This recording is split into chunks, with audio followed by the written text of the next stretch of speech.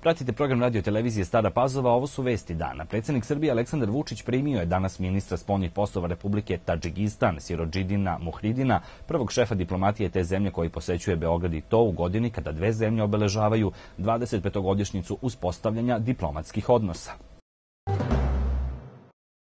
U Patrijaršiji je danas održan sastanak sinoda na kojem su učestvovali vladike iz Crne Gore, Amfilohije, Joannikija, Atanasije i Dimitrije, na kojem je odlučeno da se pokrene inicijativa pred Ustavnim sudom Crne Gore u vezi sa spornim zakonom o slobodi veroispovesti u koordinaciji eparhija Srpske pravoslavne crkve u Crnoj Gori i Svetog Sinoda. Broj preminulih od posljedica koronavirusa u Kini danas je porastao za 38 i iznosi ukupno 170, saopštila je Nacionalna zdravstvena komisija. U provinciji su registrovana 1032 nova slučaja, što je sada ukupno 4586 zaraženih. Od koronavirusa u Kini do sad je preminulo 170 osoba, a obolelo je više od 7700 ljudi. Poslanici Skupštine Srbije nastavili su danas sednicu na čijem je dnevnom redu više predloženih zakona i odluka koji regulišu oblast infrastrukture, građevinarstva i saobraćaja, a nakon poslaničkih pitanja nastavit će raspravu o amandmanima na predlog zakona o izmenama i dopunama zakona o tržištu kapitala.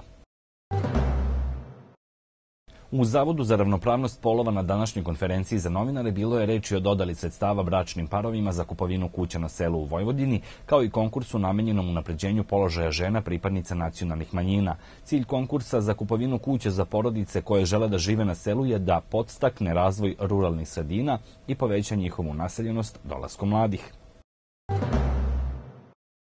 Iz elektrodistribucije najavljuju radove na mreži za sutra, 31. januar u Staroj Pazovi, kada će u periodu od 10.30 do 11.30 bez struje biti ulice Braće Feldi, Tolstojeva, Učiteljska, Svetozara Markovića do broja 18, Fruškogorska, Komenskova i Vere Miščevića od Svetozara Markovića do broja 57.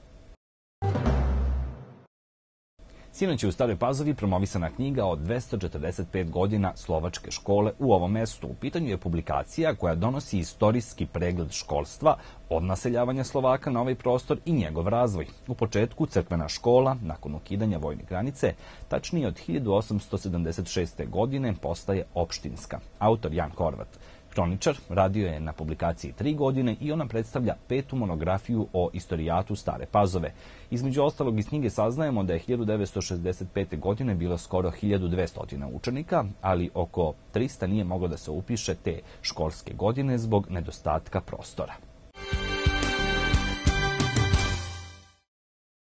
Najbolji srpski teniser Novak Đoković plasirao se u finale Australijan Opena, pošto je danas u polufinalu pobedio švajcarca Rodgera Federera sa 3-0. On će u finalu igrati sa boljim iz duela Dominik Tim Aleksandar Zverev.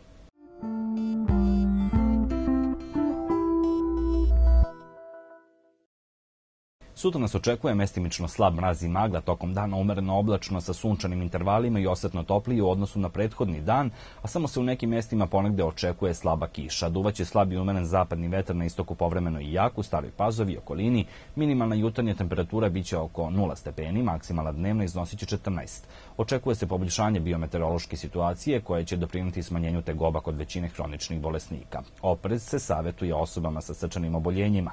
U jutarnjim satima izvestan oprez se savjetuje astmatičarima u oblastima sa maglom. Moguće meteoropatske reakcije su glavobolja, problemi sa snom i razdražljivosti. Informacijom o vremenu završamo vesti. Vama hvala na pažnji i prijetno.